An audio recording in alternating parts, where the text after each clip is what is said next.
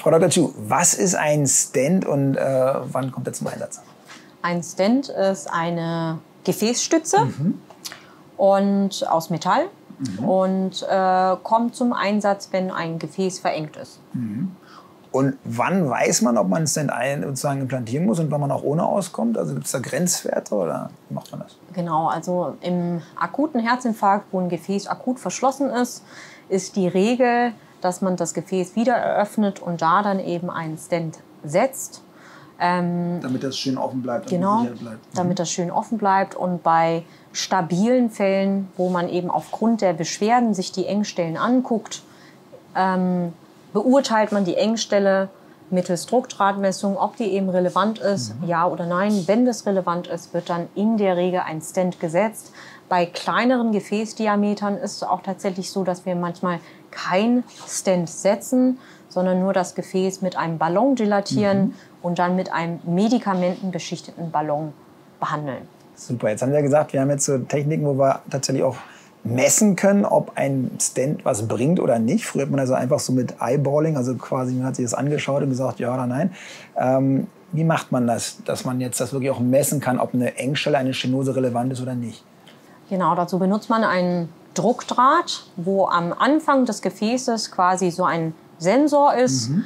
Der wird in der Schlagader genullt und dann über die Engstelle vorgebracht. Mhm. Man kann eine Messung entweder in Ruhe oder bei Stress durchführen. Also das ist zum einen entweder DFR oder ähm, IFR, das ist mhm. in Ruhe. Da guckt mhm. man, wie quasi der Blutdruckabfall in Ruhe hinter der Verengung ist. Und da ist die mhm. Grenze 0,89. Mhm. Also wenn es unter 0,89 ist, ist es relevant.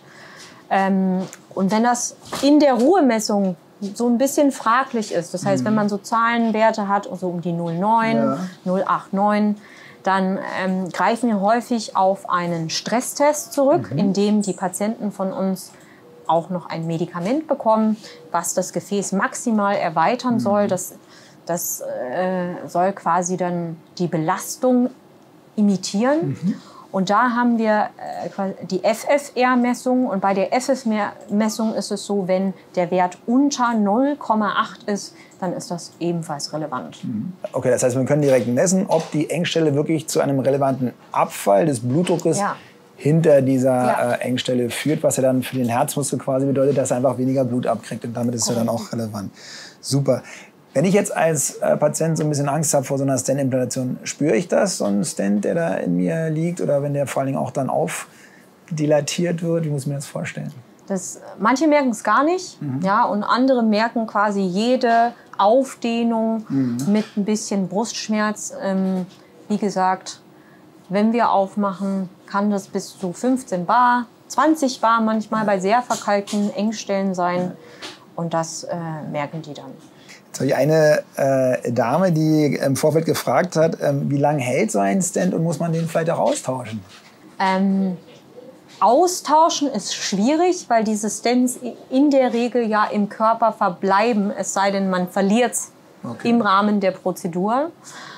Ähm, passiert aber selten. Passiert sehr selten und ähm, ob es wieder zu Verengungen kommt, ist abhängig davon, wie im Vorfeld diese Engstelle behandelt worden ist. Mhm.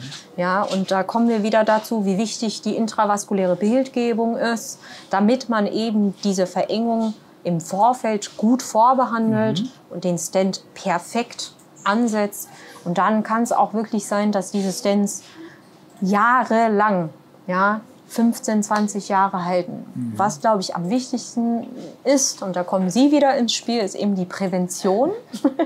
da muss man einfach dafür sorgen, nur weil Stents eingesetzt sind, heißt ja nicht, dass das Problem behoben genau. ist, sondern man muss dafür sorgen, dass alle Risikofaktoren perfekt eingestellt werden, weil so eine Verschlechterung, eine Progression der mhm. koronaren Herzerkrankung eben auch aufgehalten werden kann.